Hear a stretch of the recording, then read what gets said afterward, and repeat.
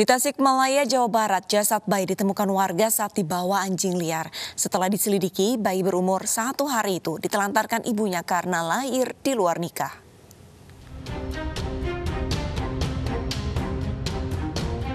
Wanita ini hanya tertunduk malu saat digelandang aparat Polres Tasikmalaya, Jawa Barat.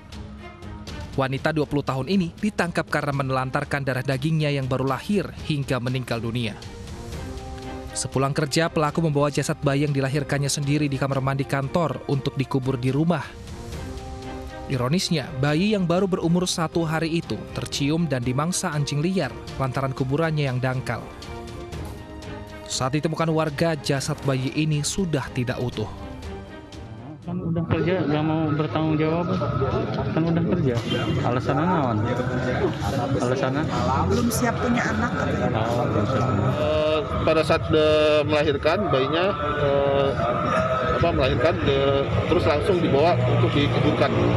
Kami dalami juga nih tuh bayinya apakah sudah meninggal pada saat melahirkan atau belum Kalau yang kekasihnya masih dalam penyelidikan ya Pak? masih dalam pendidikan. Pelaku mengaku hilaf karena anaknya lahir dari hasil hubungan di luar nikah.